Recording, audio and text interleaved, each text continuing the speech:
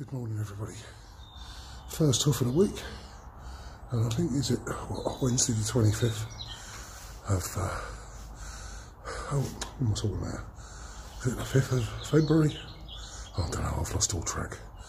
Uh, yeah, I uh, had dental twice yesterday, and uh, the teeth still ain't sorted. But apparently, it's all down to my acid reflux, which I now need to get sorted because it's, uh, it's burning into my uh, exposed roots.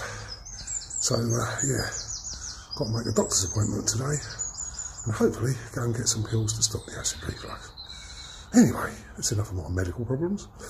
As I say, first hoof of the week, up and over to follow. Sweaty Pag, over and out. Hump Day Wednesday, up and over, first of the week.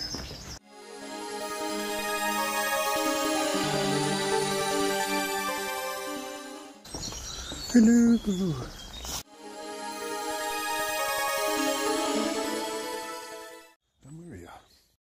Just a quick more. What's very unusual? Uh, the guy in the ticket office is open. Well, the ticket office itself isn't. But uh, yeah, the lights went on and he opened up. Which I haven't seen happen since, oh, I don't know when. Uh, I open at six o'clock in theory. So it's been many, many, many moons since I've actually seen it open. But uh, there you go. He popped his head round the door as I was getting changed. Hey ho. So, uh, not quite Billy No Mates this morning. Still.